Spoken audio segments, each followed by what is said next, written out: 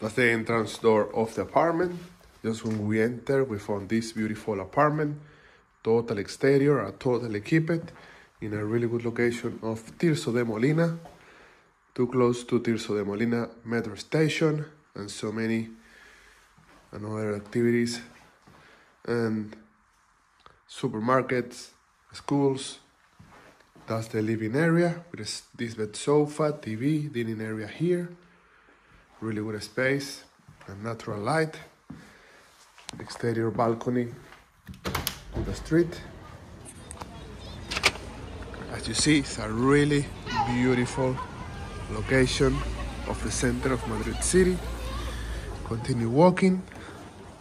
Kitchen totally open with a fridge, microwave, washing machine, and all the things you need.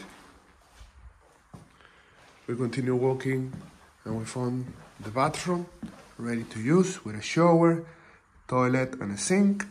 And we finish with the bedroom. Really natural light, really beautiful natural light, sorry.